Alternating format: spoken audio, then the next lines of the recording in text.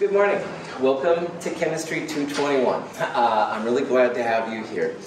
Uh, I'll say a lot of information this morning, but I just want to make sure that everybody's in the right classroom, they got the right class, etc., etc. This is Chem 221. Uh, my name, Dr. Michael Russell. You can call me Dr. Russell, Dr. Michael, Michael, Mike is fine. Don't call me Mikey. If you call me Mikey, we're going to have a problem. I'll just step outside. But life cereal, 70s. All right. Uh, best way to get a hold of me, email by far, mike.russell at mhcc.edu. If you email me by 8 o'clock on a regular day, I will get back to you the same night. If I'm watching Game of Thrones or something, it may be closer to past 8 o'clock, but, um, but I will get back to you. So definitely let me know if you have questions on anything. It doesn't have to be Chem 221 related. Um, the other thing I want to highlight here real fast is the website for this class, mhchem.org slash 221. It's not part of Blackboard, it's not part of the My MHCC portal, although you can get there that way. You can literally put this right into your browser or your computer and get there. Um, most of uh, our discussion as to what's going to happen in the class, what the class is like, will happen on Friday. Uh, Fridays from uh, 1.10 to no later than 5 is our lab period. And at 1.10, we'll meet in 2501. Uh, to get there, you go to the higher level. And 2501 is pretty close to the F parking lot. Um, you'll find it down there kind of on the end, between the science and the math department. And at that time, that's when we'll go over how the class works and stuff like that. If you have a chance before Friday at 1:10 p.m. to get the companion, or at least order it, that would be really awesome. The companion is kind of like uh, my uh, collection of problem sets, labs, uh, different kind of study sets and stuff that you'll need. Uh, one person already called it a book, which I'm actually kind of honored, although kind of ashamed too that there's that much paper wasted. But anyway, it's basically everything that I've kind of put together that'll help you this class. Um, the actual textbook is a free open source book. You do not have to pay for it.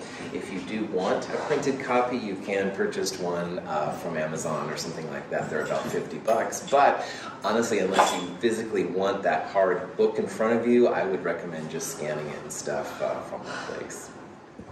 If you have questions on anything, let me know, including right now. Is there any burning question that you have that you'd like to ask? Yes. You said you watch Game of Thrones. yes, I do. I've been watching the new one and stuff. Yeah. Yeah. I uh, I think Andor from Star Wars, honestly, is kind of taking my interest more, but I do like the Game of Thrones a lot too. Did you ever read the books?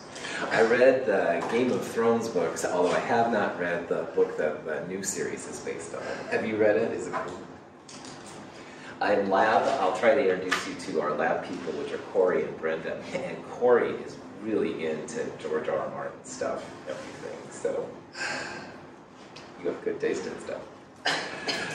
As you can tell, it's very informal. So if you think of things, you know, star sign is Scorpio. Oh, sorry, did, uh, yeah, uh, you don't know. This is astronomy, not astronomy. It's chemistry. Excuse me. Other questions? Yeah, go ahead. Are you a doctor? Yes, I got my PhD from Dartmouth College. Uh, my background is metals, inorganic chemistry. I'll talk about that a little bit off and on. Uh, so yeah, but you know, you can call me doctor or professor, but you can also just say Michael. Okay. Yeah, cool. All right. So normally what this class is like, all right, lectures like today, Monday, Wednesday, Friday, 9 o'clock at 9.50, it says 10 up there, I should have put 9.50. Um, and I'll talk about the different materials, so you have input into what we're gonna be looking at and stuff. Now, this thing right here, which I apologize if it's in your space at all, uh, this is how I record the lectures. And I will post these lectures after the lecture a couple hours, and I post them to uh, YouTube. I have a YouTube channel, youtube.com slash Mars Mars 2 or is it MH? No, it's Mars Mars. Anyway, whatever. And I'll send it to you. yeah, if I say something and it doesn't make sense, just email me later, okay? But anyway, I'll post them to YouTube, and I also have a podcast you can follow if you're a podcast person. Um, also, the lecture notes uh, will be in the companion, and you can go along and make notes on the side. Some of the things we'll look at will be like, you know, 34 grams of this and 17 milliliters. Well, instead of writing all that down, I'm hoping that you can just write notes on the side of the actual pieces. Now, I update my notes constantly. So if the version in the companion isn't quite right, I do apologize. But it was current as of uh, June or so when I started this process of making the companion for the bookstore and stuff. So yeah, I definitely recommend you get the companion. You will need printed materials. Um, the labs definitely. Uh, I recommend looking at the problem sets and stuff too. Now, labs for this section, which are section 01, by the way, are a really important time, all right? And those will be Fridays from 1.10 to 5 p.m. Um, they'll start in room 2501, and 2501 to get there, you go up the stairs and go that way just a little bit. Um, it's between the science and math departments. And so it's, I think it's pretty easy to find, but definitely ask around and stuff if you can't find it.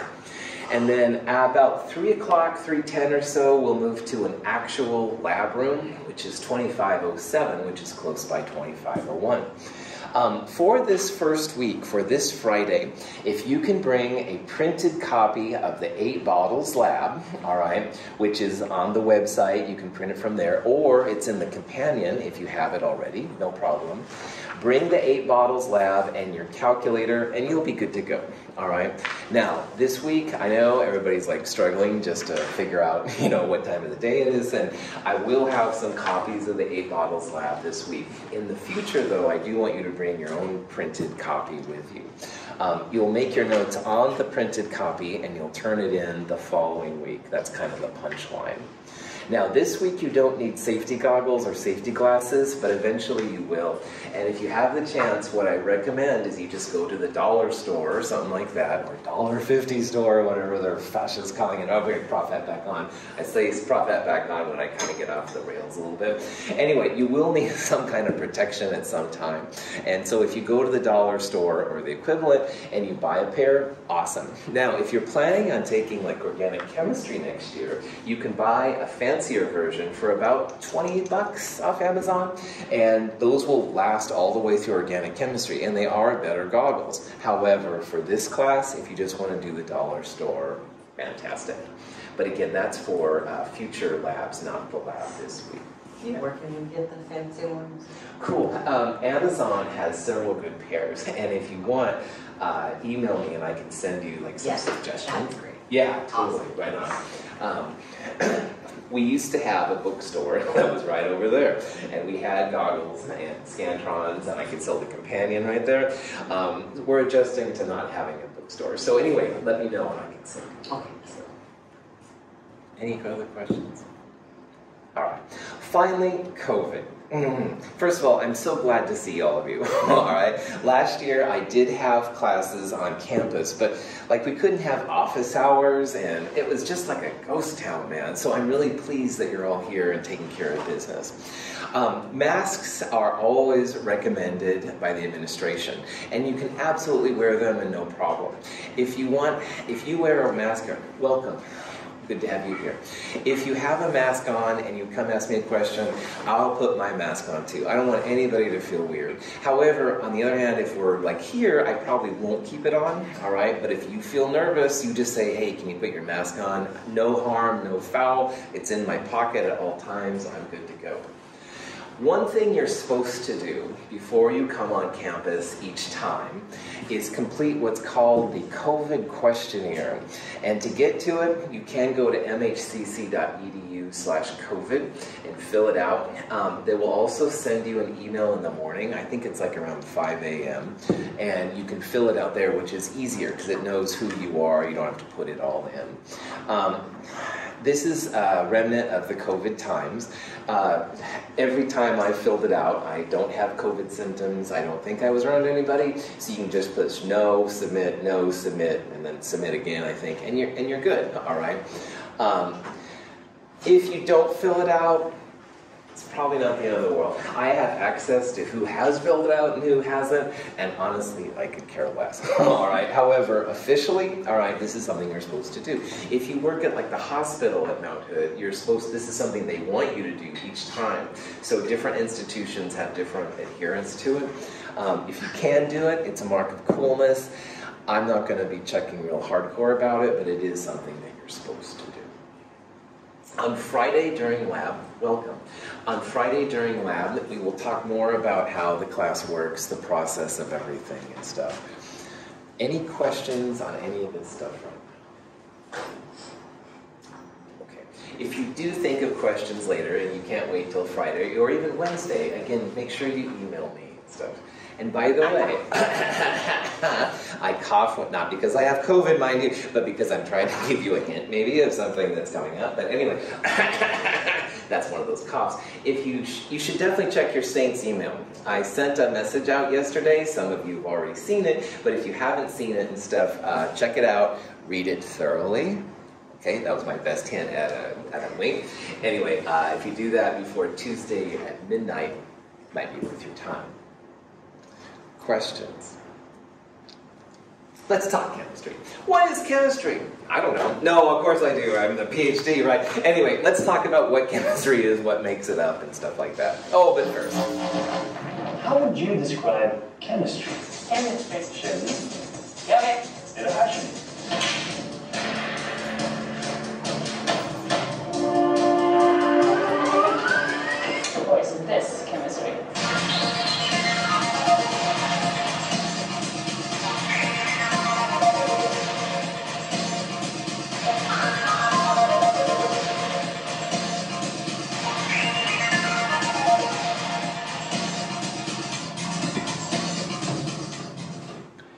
quick answer, all of that was chemistry. Chemistry is one of the physical sciences. It's one of the things that makes up everything that we do and everything Chemistry is about how matter transforms and how energy transforms. So from them putting the uh, sunblock lotion on the person's nose, which by the way I didn't do this summer, oh bad scene, I, you know, I'm basically clear my normal color. But anyway, uh, suntan lotion is absolutely chemistry, as well as the mechanics to make like a bicycle or to allow a kayak to go through the river.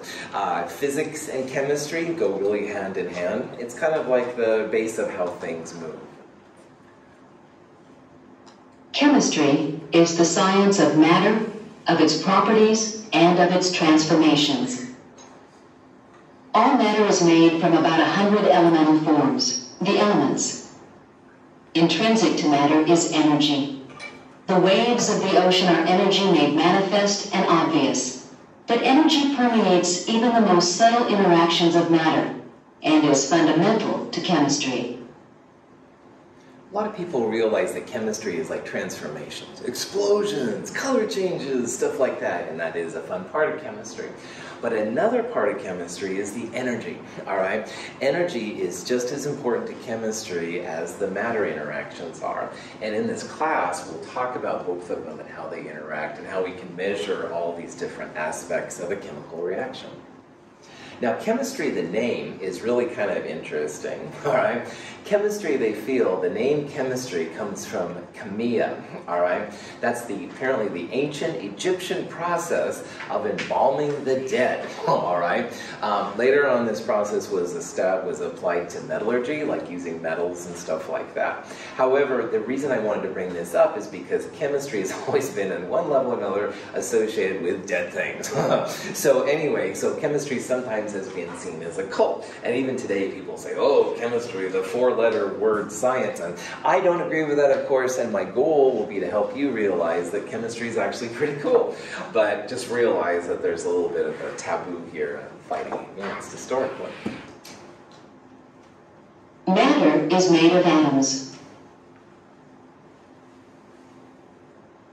When two atoms of the element hydrogen are bound to a single atom of the element oxygen, they form a molecule of water. Atoms and molecules are amazingly small. Because atoms and molecules are, in a practical sense, impossible to see individually, scientists often depend on models when working with and discussing them. A single drop of water contains more than two and a half billion trillion water molecules. Has anybody seen the Atlantic Ocean in person? It's no problem. All right, it's big. all right, you can't see England or anything like that. All right.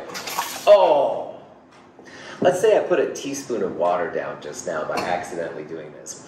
I just put more molecules of water in the sink than there are teaspoons of water in the Atlantic Ocean. So again, let's assume this was a teaspoon of water. I put more molecules of water down the drain just now than there are teaspoons of water. And the Atlantic is like the Pacific, right? It's huge, all right? And wow, that would be a lot of teaspoons, man. But anyway, uh, these things, these molecules are really small, all right? And so we can't see them. Like biologists will use microscopes and medical people and stuff, and that's really cool. But in this world, we need actually specialized types of equipment. The molecules and the atoms get down to the level of light itself, which is something we'll talk about in chapter 6, part 1. But anyway, uh, it's really neat. So we're going to deal with things that are very small and very massive. And that's one thing that makes chemistry kind of unique too. Like astronomy will deal with just massive distances and massive powers of 10 to describe it. But chemistry deals with massive numbers too in terms of numbers of atoms, numbers of molecules, but we also deal with really small numbers too. We're going to get down to the length between atoms and water and stuff, and the values are really, really small. So the magnitude of numbers is one thing that makes chemistry kind of unique amongst all the sciences.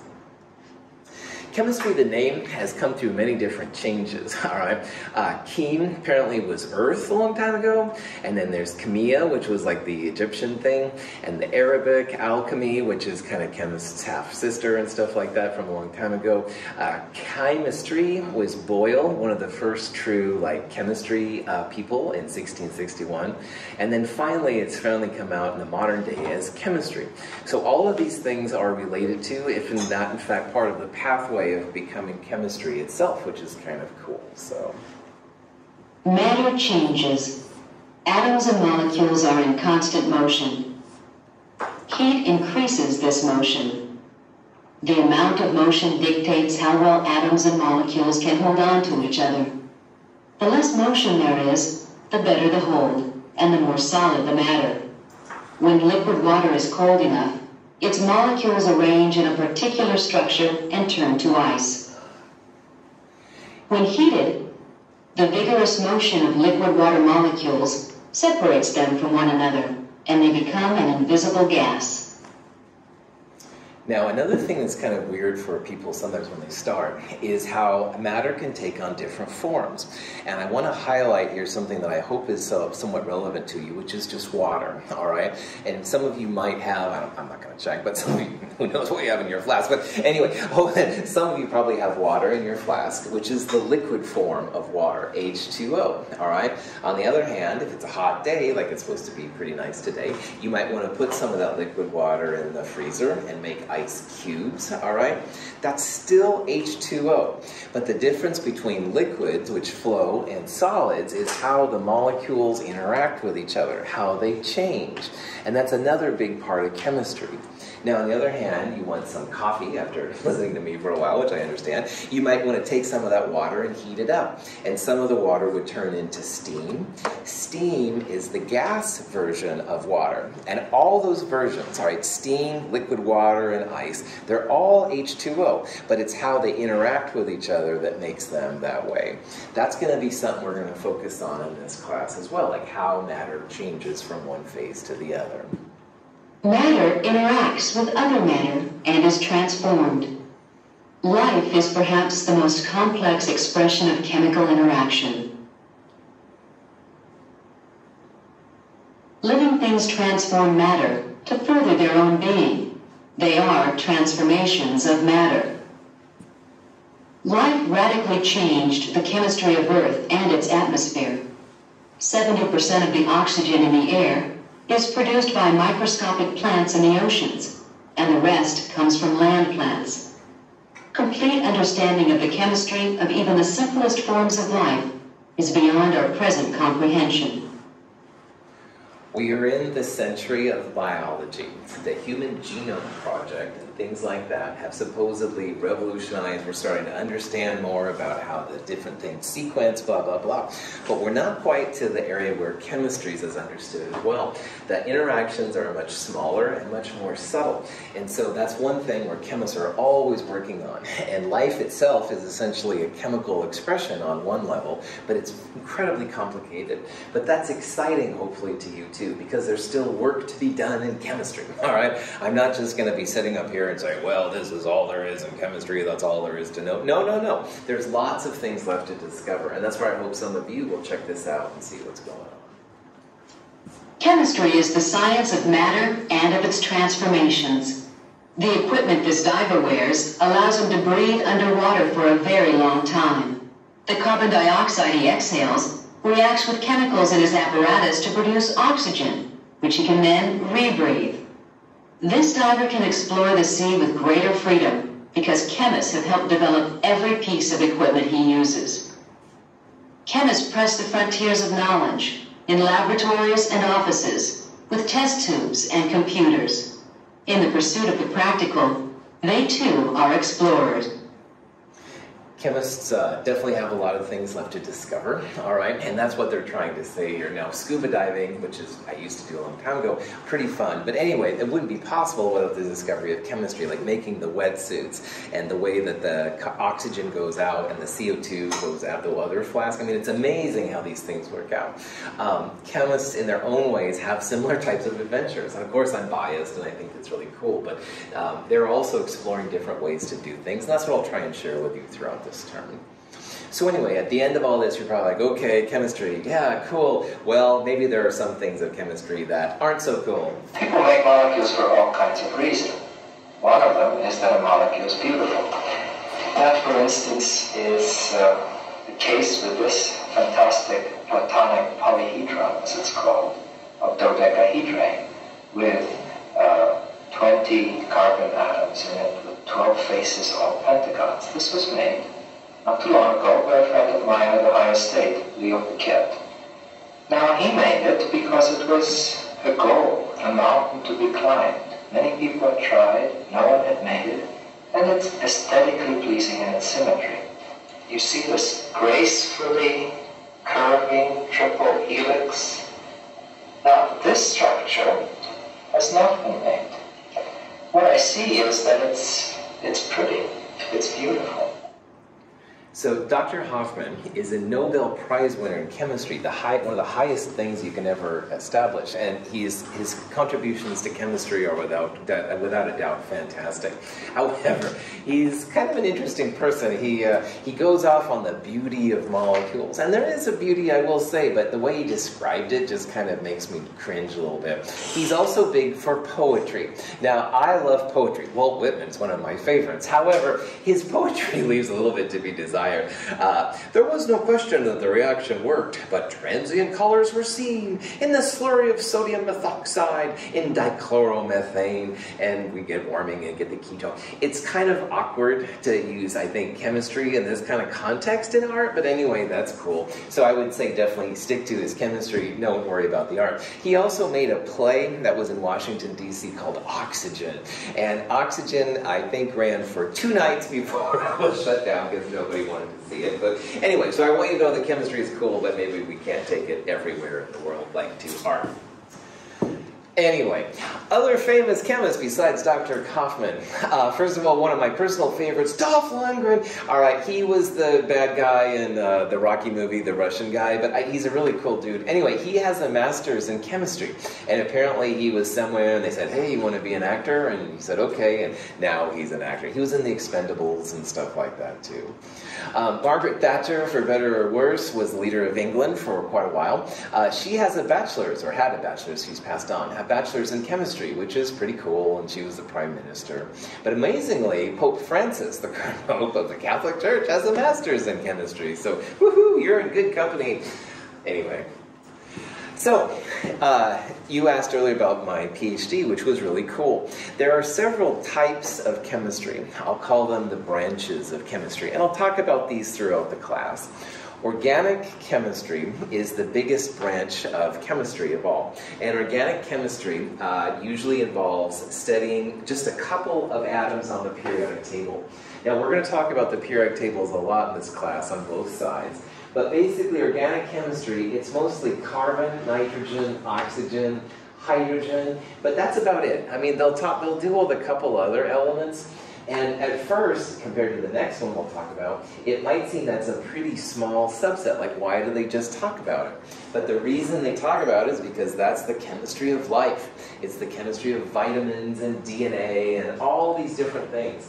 And organic chemistry is definitely the biggest branch of chemistry.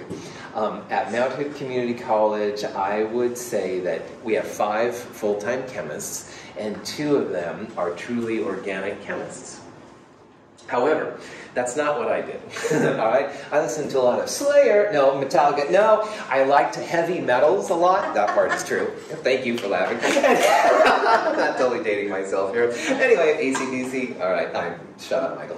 Prophet.com. Inorganic chemistry is basically the study of everything that's not carbon, nitrogen, and oxygen, especially not carbon. Um, it's mostly metals, and that's the kind of chemistry that I actually did. I was fascinated by the blues, purples, greens, and stuff that I saw, mostly with chromium, sometimes some tungsten, and molybdenum. Um, that's a really cool field. Now, inorganic is not as big as organic because there's a lot more applications when you can patent drugs and stuff like that.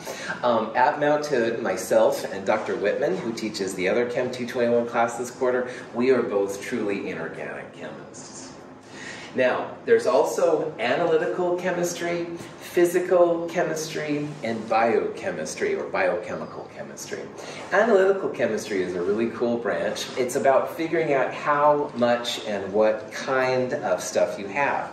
Someone hands you a flask of stuff, you don't want to go, go, go, right? Because that'll be death in chemistry. So you want to use techniques and chemical tests and machines to figure out what it is and also how much of it you have, all right? And that's a really fun field. I, uh, if I could redo chemistry, that might be something I would check out. Um, physical chemistry is where physics, chemistry, and calculus all come together, all right? And it's a really wild thing. You can prove some of the laws that we're going to talk about this term. Um, it's a very, of course, heavy math area. Computers have helped a lot. Physical chemistry is very, very interesting. Biochemistry, though, is the most popular, probably, field of the up and coming branches. Biochemistry is where biology and chemistry come together. And biochemistry is definitely uh, betting on things like the Human Genome Project. There's a Human Proteome Project, which is also kind of related to that area. Biochemists are big into that. The fifth full time chemist at Mount Hood is a biochemist. Yeah, so it's kind of fun. So we have two organic, two inorganic, one biochemist. We don't really have analytical or physical chemists, but we can wing it and stuff if you ever have questions. um, in addition to that, there's lots of other kinds of chemistry. All right, and some of these maybe you've heard of, maybe you haven't. So, for example, geochemistry is where geology and chemistry come together, and that's a really cool area. Chemical engineering, where chemistry and engineering come together, which is cool. There's astrochemistry, astronomy and chemistry, and a whole bunch of other ones. Chemistry sometimes is seen as the central science because we have so many connections to so many other fields, and that's what's kind of neat. We have connections to not only the more physical chemistries, but then also the environmental chemistries as well, biological chemistries. Whoa. Okay, not quite sure what happened there. Sorry about that, but no problem. Huh. All right, any questions on that? I was distracted. All right. I think it's a bit weird. I'm not quite sure why. In the human uh, uh language of English, all right, we have uh, 26 letters, A through Z, and we take those letters and put them into words.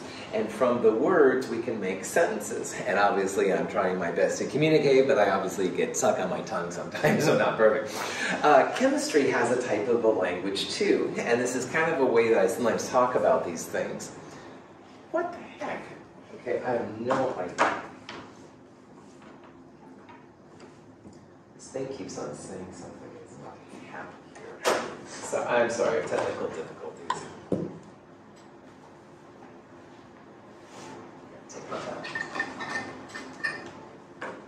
Okay, just a second. I'm sorry about this. I'm not sure.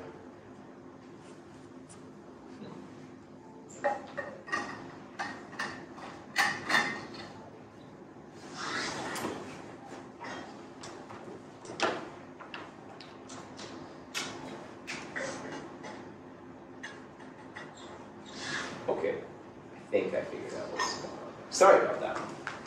Joys of technology. One time I came in, projector didn't come on, my computer didn't work. I had to go totally old school, long story short. I'm still here. Anyway, chemistry, elements, language. All right, right on. So just like in English language we have letters, well, my alphabet has more than a hundred different letters to it. Um, each of those little symbols up there, one letter or oftentimes two, are kind of like a letter in the alphabet. All right. Some letters in the alphabet you can use on their own, like A and I, stuff like that, but they're not very exciting all of these up here, there's stuff you can do with them individually as well, sometimes more important than others. We're breathing oxygen, all right? Uh, if you have a birthday party, you would want helium balloons maybe because they float, all right? So they do have their own uses. But generally speaking, the more exciting things happen when you put them together. So think of the elements in some ways as like an alphabet, all right? And the alphabet is kind of important. Now, on an actual physical world, those elements, you can't break them down any farther. Like you can't turn helium there into hydrogen without doing some pretty hardcore kind of science on it. Helium pretty much stays helium. Copper, on the other hand, we can't break copper down and put it into iron, all right? It would take some pretty intense stuff, which we'll talk about in Chem 222. So we think in chemistry that those are like the, the building blocks, all right? You can take the compounds down to elements, but you can't really break the elements down very well. There's lots of elements, some of them are familiar to you and some of them are not. Uh, sodium metal which is different than sodium chloride, we'll talk about that, is a very soft metal. You can actually cut it with a knife. It reacts really wild with water. It's cool. Aluminum, which is made of aluminum cans, uh, is something that looks kind of like that. It's something you can touch and hang on to. Bromine uh, is a gas. At, it's arguably a liquid at room temperature. So usually you'll see like this kind of nasty looking Halloween-esque kind of brown fog over it. Uh, pretty cool kind of stuff. Uh, this guy is Lavoisier. We'll talk about him off and on. He was one of the real forefathers of chemistry, and he uh, did his stuff in France. He actually came up with the term element, all right? Lavoisier uh, was actually beheaded in the French Revolution. He was part of the aristocrats and stuff, and the people didn't like him alas, chemistry can't be dangerous, apparently. Actually, he did it for other reasons, not for his science, as far as I know. But the Free was the first one to define elements when it comes to chemistry. now, the periodic table, all right, is where you find my letters of my alphabet, all right? And again, there's quite a few of them. Currently, there are 118 elements. Now, if you look on the periodic tables in this room, there are several pieces missing, all right? And you'll also see like 114 right there has a UUQ, and 114 right there has an FL. This is a very up-to-date periodic table. Periodic tables are always getting out of date, and that's what our big periodic tables in this room are. Uh, I'm going to try and make the push to get new ones this year. You never know at Mount Hood about the money. But anyway, I digress. The letters uh, of the alphabet, like I said, are equivalent in some ways to the elements on the periodic table. Um, writing out hydrogen all the time, or Li, which is lithium, gets to be a real drag. And I'll talk in this class how sometimes chemists are lazy. And it doesn't mean that we don't do anything, it just means we don't want to write out hydrogen and lithium all the time. So this guy Berzelius was the first one to suggest we should use these symbols, all right? And some of the symbols make sense. So for example, H is hydrogen, that's not too bad. Li is lithium, that's okay. But to our English language, Na doesn't sound at all like sodium. Na is from the Latin term for sodium, which was natrium. So sometimes the letters will make sense to you as people studying English, and sometimes they won't. K is potassium, so that's really weird and stuff. Hg right there is mercury. So again, just be aware that some of them make more sense than others. um, they are working on more elements too. There are several groups around the world that are working on some heavier ones. I'll talk later at the end of this term why I'm so excited when we get to element 121.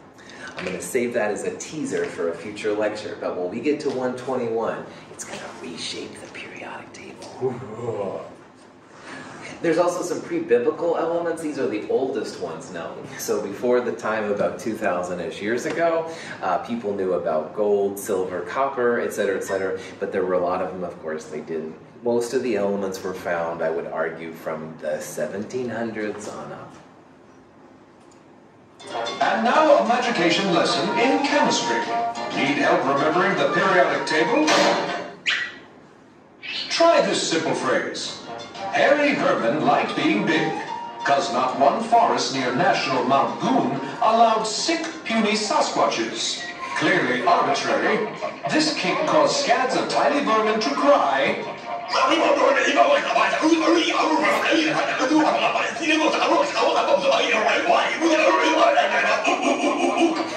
and that's how you remember the periodic table. Okay, so I put this up here because first of all, I want to make you smile. Second reason is because I want to talk about people always ask me, should I memorize the periodic table? And a lot of times in high school classes, they'll make you memorize the first 18, the first 36, whatever elements. In this class, you never have to memorize the periodic table. All right, I, you will have in quizzes and exams a periodic table in front of you, and it's got the names, it's got the symbols, it's got the numbers and stuff like that. Uh, it's in the companion if you want to see what it looks like, and you'll always have that in front of you. Now that being said, it is nice to know that potassium is K and it's over there. It's nice to know that arsenic is AS and not AR, argon, those kind of things. So if you have time to become more familiar with it, it does help. I won't lie, all right? And if you have been memorizing periodic table, awesome. a lot of times when I'm bored, I'll try and write out the periodic table from memory and stuff. This is just something I do. Now, the first elements are definitely more important than the latter elements, all right? So for example, flerovium, which is 114, by the way, the most volatile metal found yet, apparently, according to a paper I read recently. But anyway, flerovium is not one we'll use a lot, all right? So if you look at the first ones, that's cool. So passively look at them, kind of know that sulfur's on the right, all right, and magnesium's on the left. That would be cool, but you do not have to memorize anything per se. Any questions on that? The periodic table uh, is just chemist's way to kind of look and see what the letters of our alphabet are. The first one was uh, proposed by Mendeleev, which is fantastic. His looked a lot different than uh, the one we have right now. But what was really cool about his prediction is he predicted some elements that would exist before they had been found, and that was really, really cool. Uh, the modern version of the periodic table, of course, looks like the one we have. Now notice that this one is also a little bit out of date. I don't have the newest ones and stuff. Originally, Mendeleev wanted to organize by the mass, how much it like weighed, if you will, for each one. Now they're organized by the atomic number, which are these whole numbers, and we'll talk about that in a future lecture. So this is the current version and stuff that's used. Um, periodic tables are useful not only to know where the elements are, but you also find that up and down there's some similarities in the elements. So for example, Na sodium is a lot like K potassium, all right? And on the far right, uh, neon, which is the gas, is very similar to helium, the gas. We'll talk about how there's some ways to make predictions as to properties uh, using the periodic table uh, coming up here pretty soon. You can make a periodic table table, which I find hilarious for some reason on a personal level. Uh, I don't recommend it. You can see that this periodic table, first of all, is missing all these elements, so you'd have to rebuild the periodic table. And first of all, you can even have cool shirts, by the way, of periodic tables. But anyway, if you're bored and into construction, you can do stuff like that. Now, to summarize on one sheet of paper all the potential things that could happen in chemistry not only in chemistry, but in all fields of science, physical science that is, uh, and maybe in engineering. The one sheet of paper I'd give you would be the periodic table. That's everything we ever will do in science is summarized here.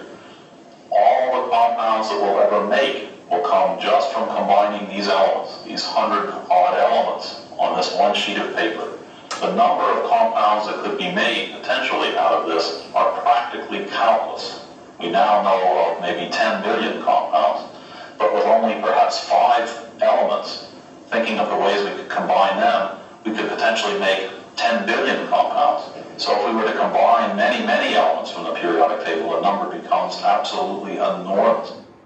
So basically, from just the study of carbon, nitrogen, and oxygen, there's roughly 10 million-ish compounds. And by the way, a compound is when you mix different elements together. But that's just focusing on a small part of the periodic table. And in my graduate work at Dartmouth, I created some compounds that nobody had ever done before. Nobody had ever found them. And they're not going to cure cancer or anything like that. Darn it, I can't make money off them. Oh, darn it. However, it, I was the first one. All right, and that's kind of a cool thing to do. And you could do this too if you decide to go into chemistry.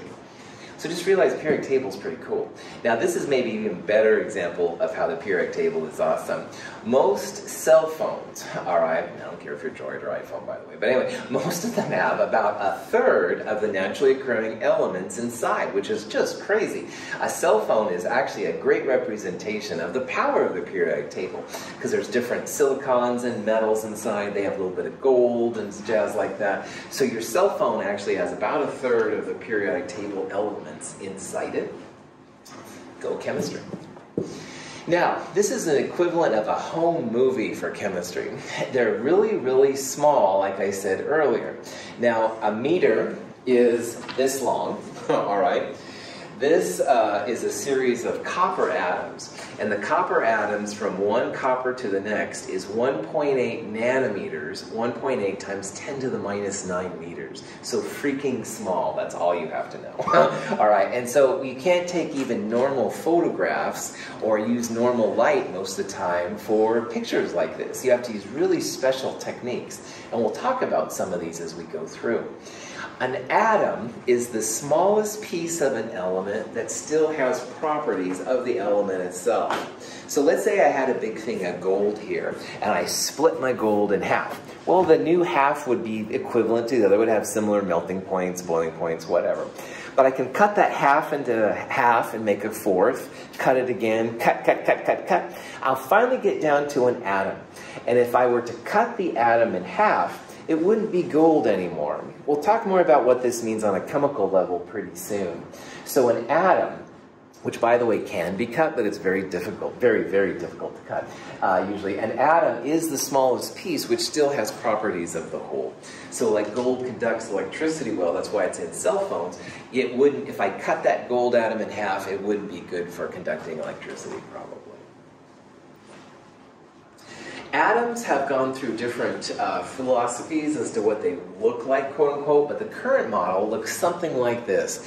Atoms are spherical, like little marbles, all right? And most of the marble volume, the area within the marble, is basically made up of electrons. And in the very, very middle right there is the nucleus. And the nucleus has the protons and the neutrons. There's different forces at work in the atoms, but all the atoms, something like this. All right, some of them are bigger, some of them are smaller. They're all freaking small compared to you and me. All right, but they, some of the atoms are bigger relative to the other atoms and stuff. We will definitely be talking more about the structure of the atoms in upcoming lectures, so hang tight. Now, a compound, which I mentioned earlier, is when you have mixtures of atoms coming together. And honestly, compounds are where it's at. All right? This morning, I jazzed up a lot on caffeine. Probably couldn't tell with my friend No, seriously, caffeine is, is uh, obviously really good in coffee or tea and stuff like that. Caffeine is a mixture of different atoms. It's a compound, all right? So compounds are usually more exciting than the elements they came from. Another interesting thing is that the elements themselves will have quite different properties from the compound you make. And we'll talk about that more later. Um, this is actually a compound that you will make if you take Chem 223 with me. This is what they call a nickel dimethylglyoxime molecule. You don't need to worry about that. Don't let the terms make you nervous or anything. But you will actually create it. It's this kind of red kind of solid up here. Um, this has many different types of atoms inside. The silver one here in the middle is the nickel. Black is oftentimes carbon. White is often hydrogen. Uh, oxygen sometimes is red. Nitrogen is blue. This is a representation of the molecule that we will actually make in Chem 223, which is cool.